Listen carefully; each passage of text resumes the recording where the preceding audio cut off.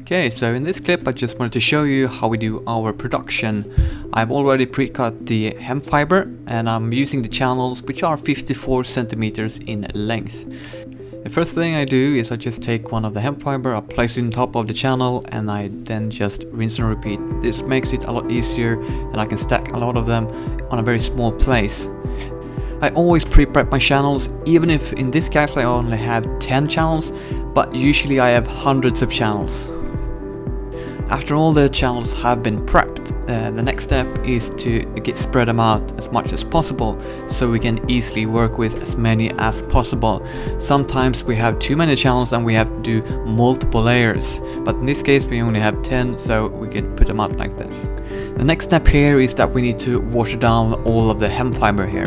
So we do it by using just a hose and we just water on one side of the hemp fiber and we water it down quite heavily here and it doesn't really affect uh, if we overdo it or the more the better in this case so to say.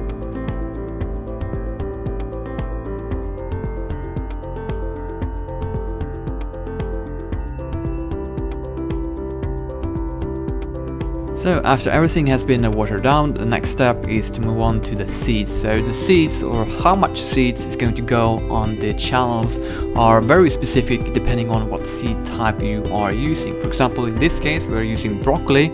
Uh, for these 54 centimeter channels, we just need about 10 grams. Uh, you can measure it out, but as I have done hundreds of these trays, I usually eyeball it.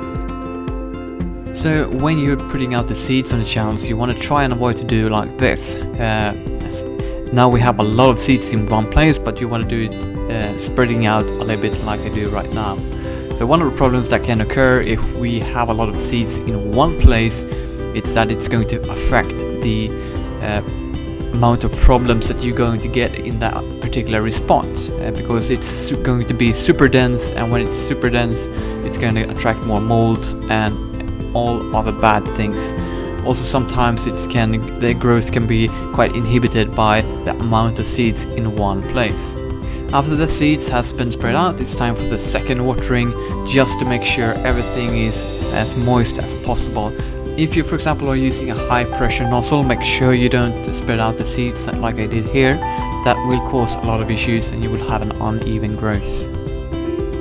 So when the watering is done, the next step is that we're going to move on to stacking everything again. So this is how we do our germination.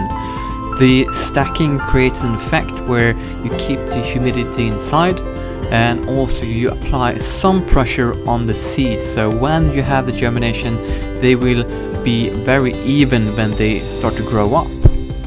The other thing which we have found out which is very very important to do is when we put the, the stack channel for germination we have to have it at an angle. Uh, one of the reasons for that is if we just put it in like this there's going to be too much water inside of it and that will create a anaerobic area. So when we put, put it at an angle like this the gravity will actually allow all of the excess water to be drained out. So depending on, for example, if you have a germination room where you have a high humidity, you don't need to do any extra watering or anything. If you have it as we have now, we have it in our growing room, uh, the humidity is quite high, then we don't really need to add any water during the germination process.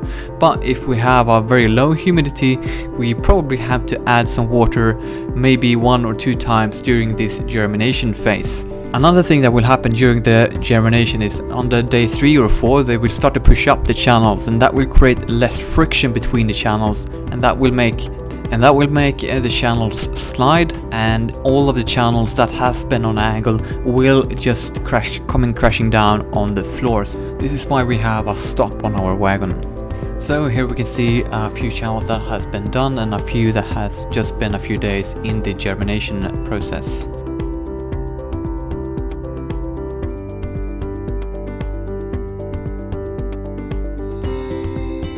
When you're starting out, it's always a good practice to, to check on the channels, see how they look inside, if there's any sort of problem that has arisen.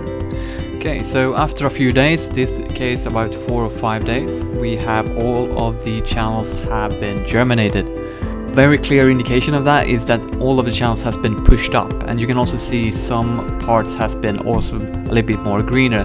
This is the case if for example you don't have a germination room that I don't have here for example or in this case. So the end parts has been contact with light and they have started and it has started its greening process here. So the next step uh, for these channels is moving them from this wagon into the growing system. Okay, so I hope this video provided you a little bit more information about how the production is done in the system from a hemp fiber until the germination phase is done and when you before you put it into the watering system or the lighting system here. If you need any more information about other processes in the system, make sure you check out our other videos here. Have a great day.